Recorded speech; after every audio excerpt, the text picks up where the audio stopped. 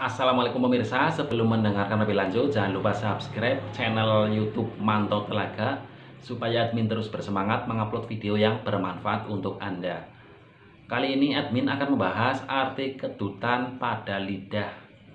Adapun arti kedutan pada lidah dan anak lidah menurut primbon Jawa.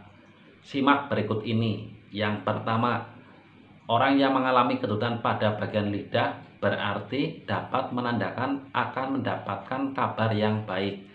Menurut Primbon Jawa, pertanda baik tersebut kemungkinan adalah Anda akan segera merasakan makanan yang enak dan lezat dalam waktu yang dekat ini.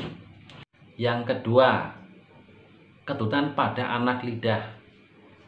Tidak jauh berbeda dengan arti sebelumnya. Seseorang mengalami kedutan pada anak lidah Hal itu juga merupakan pertanda yang baik bagi Anda.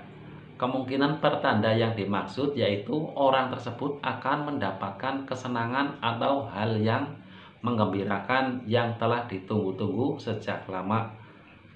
Itulah beberapa makna arti kedutan pada area lidah menurut Primbon Jawa. Terima kasih, semoga bermanfaat untuk kita semua. Wassalamualaikum warahmatullahi wabarakatuh.